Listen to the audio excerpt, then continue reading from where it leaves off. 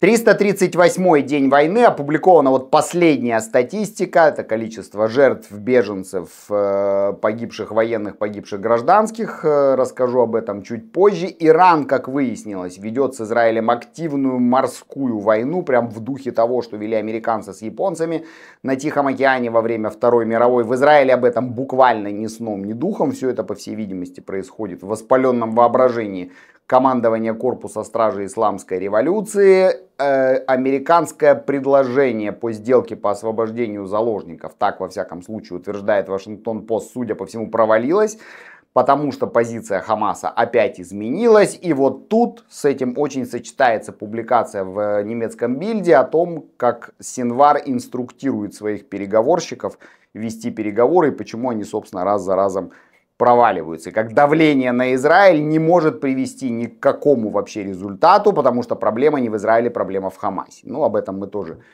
чуть позже поговорим. И израильская армия продолжает свою новую тактику, а именно разрушение ракетного арсенала Хизбаллы. Теперь с истребления командиров переключились на истребление ракет. И там есть определенные результаты, и такие, надо сказать, вполне себе обнадеживающие. Всем привет, меня зовут Сергей Услендер, вы на моем канале. Сейчас я вот об этих новостях и не только вам расскажу в очередной сводке. Не забудьте ее, пожалуйста, поддержать, лайкните, подпишитесь на канал, если еще не подписаны. Э, оставьте комментарий, включите уведомления, все это очень помогает распространять эти видео. Говорит поисковым алгоритмам YouTube, что видео интересное и можно предлагать его большему количеству людей. Кроме того, можно помочь финансово, это тоже важно, нужно и полезно. Кнопка супер спасибо такое сердечко с долларом или надпись Super Thanks, две платформы Boosty и Patreon, ссылки на них находятся в описании. И можно стать спонсором канала на YouTube. Все это, еще раз говорю, очень помогает. И огромное спасибо всем, кто это делает. Итак, на 338 день войны Институт национальной безопасности, Институт изучения национальной безопасности, АНСС израильский, опубликовал статистику вот 11 месяцев э, войны. Начиная с 7 октября за 11 месяцев погибли 1664 израильтянина, в том числе 706 военнослужащих армии обороны Израиля. Понятно, что вот из этих 1664 минус 706 это военные, э, из гражданских абсолютное большинство погибло 7 э, октября, ну 7 и 8, скажем так, вот в эти Числа э, военные там примерно пополам поделились потери, то, что погибли 7 октября и те, что погибли во время боевых действий в секторе Газа.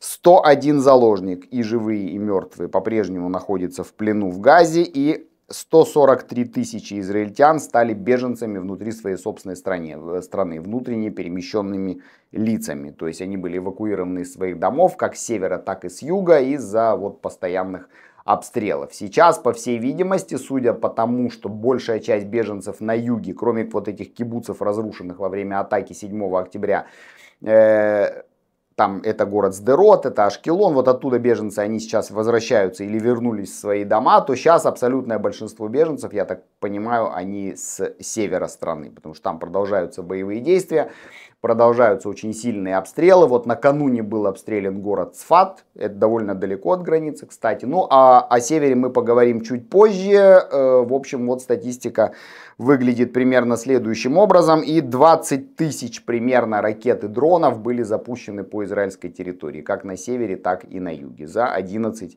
месяцев войны. То есть порядка 2000 в месяц запусков там различных самых. Э, когда больше, когда меньше. Были перерывы там некоторые, там во время ноябрьской сделки прошлого года, когда вернули часть заложников, там был примерно восьмидневный перерыв, не было обстрелов ни на севере, ни на юге. Но в целом э, статистика печальная и выглядит вот таким образом. Вашингтон Пост написал о том, что американский план, судя по всему, вот окончательного там урегулирования, э, очередной американский план окончательного урегулирования представлен не будет, потому что там все уперлось в позицию Хамаса. Хамас там поменял опять в очередной раз свою позицию. Если раньше они согласились, э, что террористы с кровью на руках, кто находится в израильских тюрьмах, приговоренные к пожизненному заключению, будут отпущены э, за возвращение похищенных солдат, то теперь они требуют их э, возвратить за возвращение похищенных гражданских. То есть они вот как бы ужесточили свои условия в каком-то смысле. Э, Все это дело, значит, э, там по-прежнему обсуждается между посредниками, там, американцами, катарцами, египтянами, там, до Израиля это все тоже доводят, но в целом, судя по всему, Хамас по-прежнему тянется сделкой, по-прежнему не, как бы не идет на эту сделку. И вот в свете всего этого вдруг появляется документ, который публикует немецкое издание Bild. Э, документ этот, э, как они сказали, был получен из каких-то там источников. Я подозреваю, что наша разведка слила немцам этот документ, потому что вот так его получить за здорово живешь, я не знаю, какие нужно иметь источники и в каких таких разведках. Э, судя по всему, документ этот был обнаружен в апреле этого года в Газе во время там осмотра и э, захвата очередного туннеля, там был найден компьютер, вот в компьютере нашли этот документ. Это инструкция, буквально пошаговая инструкция, которую Синвар дал, дает, ну, написал для переговорщиков, для переговорной группы э, Хамаса, вот, которая ведет переговоры через посредников об освобождении заложников, об обмене, как они говорят, об обмене пленными. Так вот, из этого документа сделаны, ну, после того, как его опубликовали, можно сделать три основных вывода. Первый вывод. Хамас не заинтересован в прекращении войны. Второй. Обменная сделка нужна Хамасу лишь как способ манипуляции с целью достижения своих задач. То есть это ровно то, о чем я тут вот распинаюсь уже э, примерно полгода и говорю, что Хамасу сделка не нужна. Хамасу э, э, сделка нужна как способ давления, да, то есть попытка ее достичь нужна, попытка достичь ее как воздействие на израильское общество психологическое, там, на семьи заложников, там, на общество в целом и так далее, но как таковая, как свершившийся факт, сделка ему не нужна. И третий вывод, стратегия Хамаса полностью себя оправдывает, как на внешней, так и на внутриизраильской арене, и позволяет понять, почему сделки нет, несмотря на все усилия. Вот это ровно то, опять же, о чем я говорю что Хамас манипулирует израильским обществом, Хамас ведет тяжелую психологическую войну и таким образом добивается своего. То есть не дает закончить э, Израилю войну, усиливает международное давление и таким образом добивается своих целей. Так вот, директивы Синвара по поводу переговоров с Израилем, переговоры ведутся, еще раз напоминаю, через посредников, сводятся к следующему. Общая стратегия – Нужно затягивать переговоры с тем, чтобы сохранить способность наших вооруженных сил, ну это все как бы от лица Хамаса говорится, действовать против Израиля, против нашего врага. Общая цель – истощение политического и военного руководства врага, усиление международного давления, возвращение патриотов, ну это террористов, из тюрем. Понятно, что возвращение патриотов-террористов из тюрем это абсолютный такой вот гарнир, это вообще ни о чем. Сколько их там вернется, кто из них вернется, это их не сильно волнует. Хамас заинтересован только в одном, сохранить живых свое руководство в Газе, имеется в виду это Синва, братья Синвар, Дефа там уже нет, все, Деф ликвидирован, и сохранить свою власть в секторе Газа. Вот его цели на самом деле. Сколько там кого освободят из израильских тюрем, это вопрос такой, как бы обсуждаем. Э, факт, что затягивание переговоров ведет к увеличению разрушений и жертв в секторе Газа среди гражданского населения, рассматривается главарями террористов как положительный потому что увеличив... усиливает внешнее давление на Израиль. Тоже ровно то, о чем мы говорили. Чем больше жертв в Газе, тем для них лучше. Чем дольше длится война, тем больше жертв, тем для них лучше. Это тот самый налог на войну, про который я рассказывал в одном из предыдущих видео, как было сказано на совещании Хамаса и исламского джихада. Ну, как бы лес рубят, щепки летят. Важный способ достижения поставленных задач, как говорится в этом документе, оказание психологического давления на семьи заложников, с тем, чтобы, цитата, посеять нестабильность в Израиле и усилить внутриполитическое давление на правительство врага. Раскол в обществе, да, вбрасываем видео с заложниками, потом говорим, что они погибли, или действительно оказывается, что они погибли. И вот они вот сидят живые, вот они погибшие, вот их доставили в Израиль. Все это сильнейшим образом воздействует на израильское общество, где высока ценность человеческой жизни. Это у них человеческая жизнь не стоит ничего вообще, мусор там люди. А у нас люди это ценность, и поэтому они это активно используют. В общем, тоже ничего нового. Рекомендуется, вот следующий пункт, буквально публикация видео с заложниками. Эта психологическая пытка должна довести родственников заложников до такого отчаяния, чтобы они были готовы пойти на все ради освобождения своих близких, даже если это означает идти против собственного правительства. Вот тут даже комментировать особо нечего.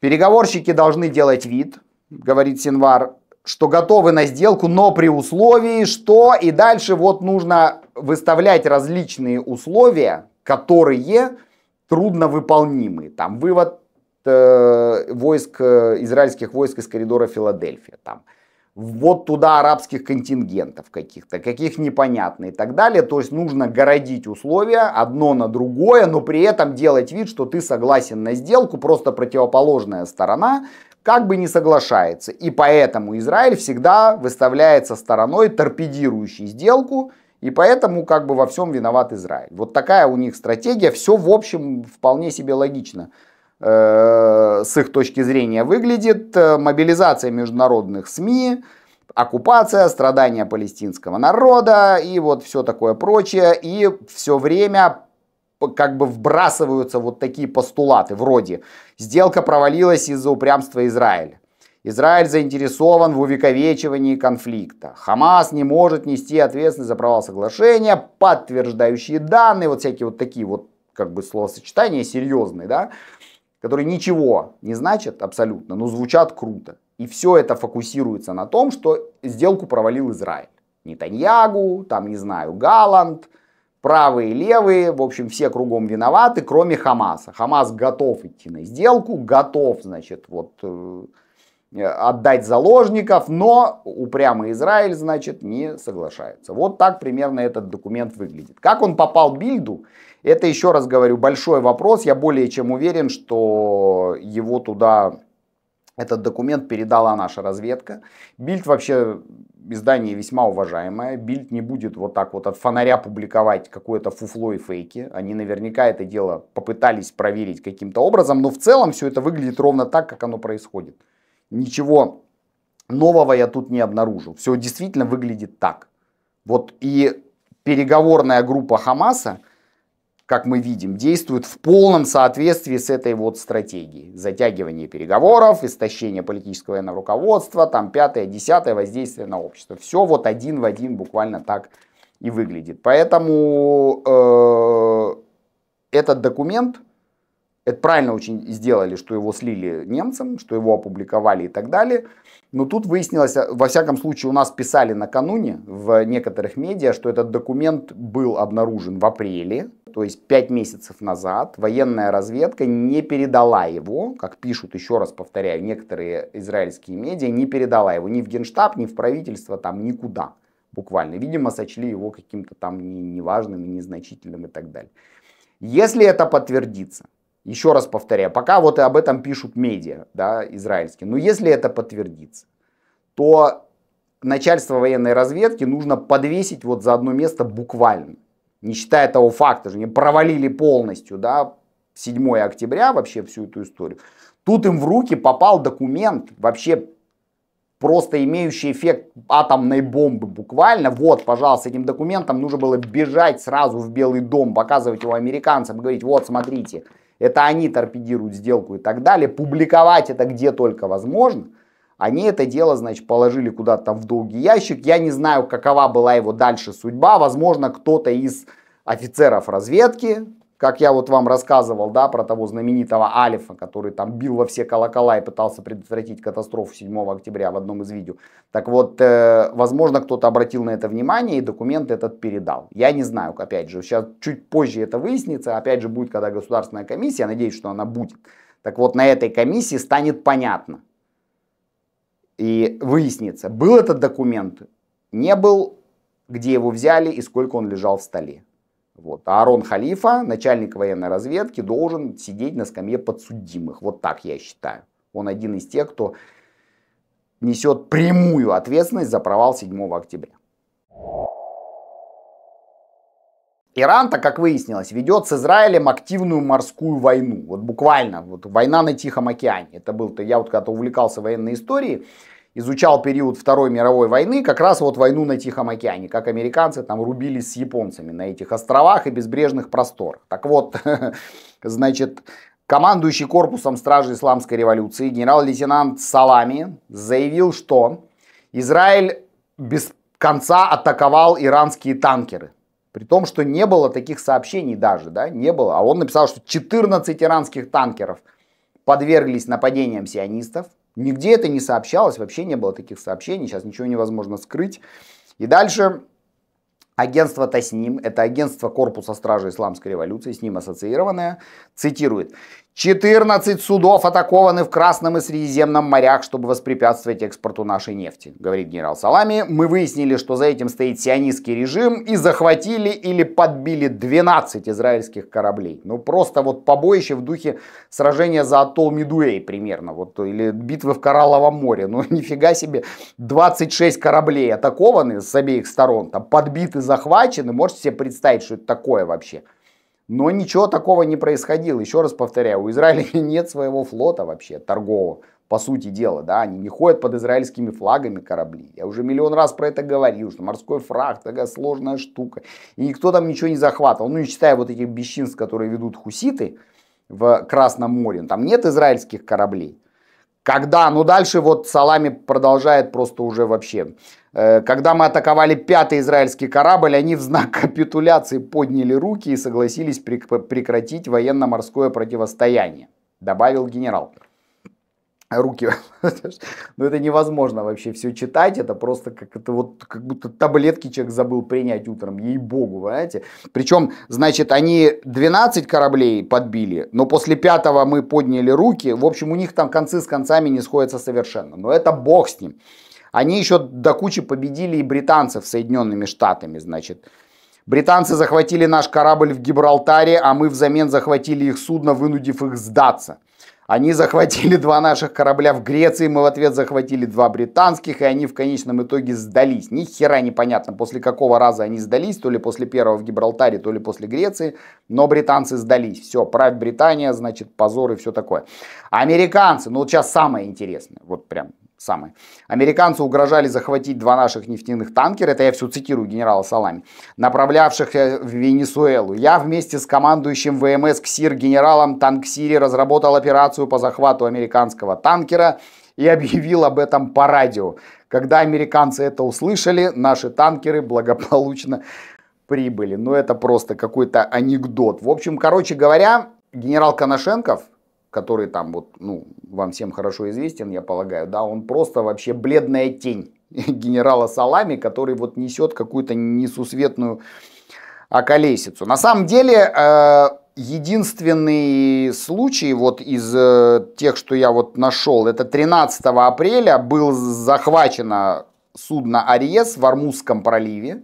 Вот, и это судно, ну, как, в общем, сообщили эти э, иранцы, оно было связано с Израилем и задержано из-за нарушения им морского права. Значит, контейнеровоз этот ходил под флагом Португалии, находился во фрахте у греческой компании, а принадлежал лондонской компании. Часть акций лондонской компании принадлежит Эялю Оферу. Это такой израильский бизнесмен, у которого есть, по-моему, еще и британское гражданство, а может и еще какие-то гражданства. Короче говоря, через три ноги вот, э, и два колена каким-то образом, значит, израильский бизнесмен владел там как вот такой вот частью этого судна. И то, значит, через там кучу прокладок и офшоров. И так или иначе, э, вот так вот если потыкать в любой корабль в мире, то там найдешь какую-нибудь связь с Израилем, да. Может быть, капитан этого судна в детстве дружил с, э, с мальчиком-евреем в школе, например, да, и даже был у него на бармице, например. Ну, тут чем не связь с Израилем и так далее. В общем, короче говоря, иранцы несут какую-то несусветную околесицу. На самом деле, э, они, конечно, сильно побаиваются ответного удара Израиля. Э, у нас сегодня, кстати, вот важный момент, э, после обеда выложим интервью с Мишей Бородкиным, вот э, иранист, который вам уже знаком был, у нас с ним интервью. Так вот, Миша там рассказывает, почему до сих пор не состоялась иранская месть. Да, они боятся. И вот потому что они боятся, они вынуждены врать и городить всю вот эту чушь, что они там подбили 12 кораблей, американцев там раком поставили, значит, британцев победили, все сдались там и так далее и тому подобное. Потому что над ними уже откровенно смеется весь Ближний Восток. Вот это важный момент. Ну и про север, конечно, скажем, там боевые действия продолжаются. Израиль перешел к новой, относительно новой тактике э, после вот этой превентивной атаки 25 августа, когда удалось уничтожить большое количество ракет, готовых к пуску по Израилю, когда Хизбалла пыталась отомстить за ликвидацию Фуада Шукра. Вот Израиль перешел к такому методичному выбиванию ракетных арсеналов Хизбаллы и буквально вот получается с позавчера на вчера была атака, когда были атакованы в районе, это на юге Ливана, на побережье, в районе э, Фаруна. Вот в таком районе были атакованы склады и пусковые установки, тоже готовые к запуску. И там очень мощные были вторичные детонации, очень мощные взрывы и так далее. Хизбалла в ответ обстреляла север тоже, довольно массированно. Вот обстрелян был вчера Цфат, но там э, большую часть ракет удалось перехватить. Так вот, что сообщает нам э, газета Израиль Айом, в частности, со ссылкой там на источники в израильской разведке. За вот эти 11 месяцев Израилю удалось уничтожить 20% э, арсенала ракет малой дальности. Это до 40, до, до 40-50 километров дальностью ракет Хизбаллы. Так вот, э, э, самое главное, что уничтожено порядка 7 тысяч пусковых установок. Пусковые установки это, конечно, там не э, ракетная установка, там как вот, типа, не знаю, ракета Искандер запускается, машина там пусковая, да, там транспортно-заряжающая, нет. Это все направляющие, там даже из бетона они их делают, но тем не менее, пусковые тоже важны. И вот пусковых уничтожили уже несколько тысяч. И э, порядка 40 тысяч ракет было у Хизбаллы перед 25 августа. 40 тысяч ракет э, ближнего радиуса действия. Вот, э, и из них, соответственно, 20% э, уничтожены. Вообще, как пишут вот э, в частности в различных отчетах, это сообщает Институт национальной безопасности и Центр Альма и, там, и различные другие источники, что реально Хизбалла отвела часть своих сил, особенно вот эти элитные части Радуан, за реку Литани. Потому что беспрерывное вот это воздействие, которое израильская армия на них оказывала, оно привело к тому, что они туда их отвели на всякий случай свои части. Это ни о чем не говорит, вернуться всегда можно, довольно быстро, там не, так, не такое уж большое расстояние, максимум там 30 километров от границы. Но, тем не менее, то есть э, потери у Хизбаллы есть и материальные, и э, человеческие, довольно серьезные, поэтому они вынуждены эти вещи учитывать. Другое дело, что нам от этого как-то там не сильно жарко или холодно, север эвакуирован, север разрушен, и поэтому с севером нужно что-то решать. Но пока все упирается в сделку по освобождению заложников. Короче говоря, пока вот по-прежнему нет четкой э, определенности, где мы заканчиваем. В Газе, начинаем на севере или там начинаем на севере, не закончив в Газе. В общем, пока не очень понятно. Война затягивается, это тоже очевидно. И то, что скоро будем э, говорить о годе, о годовщине первой этой войны, это уже тоже, в общем, совершенно однозначно. Собственно, вот остался месяц до того момента, как пройдет год с момента начала войны, с момента начала операции «Железные мечи», с момента атаки Хамаса 7 октября. Но будем об этом говорить, забегать вперед пока не будем. Спасибо, что смотрите мои видео. После обеда интервью с Мишей Бородкиным не пропустите тоже. Для этого включайте уведомления и увидимся в ближайшее время. Всем пока.